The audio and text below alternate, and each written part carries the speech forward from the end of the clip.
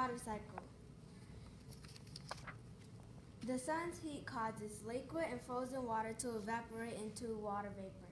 Without the sun, the water cycle won't work and the whole process can be over. Evaporation.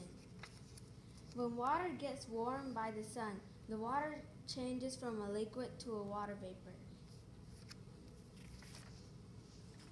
Condensation. Condensation is when water evaporates and turns into clouds.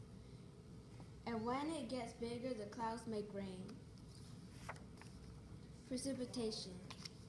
Precipitation is what falls from the clouds to the ground, like hail, snow, rain, and sleet.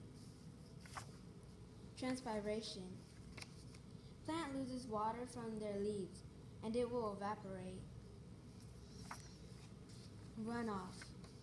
Runoff is precipitation that doesn't get absorbed into the soil or did not evaporate and therefore made its way from the ground surface into places that water collects.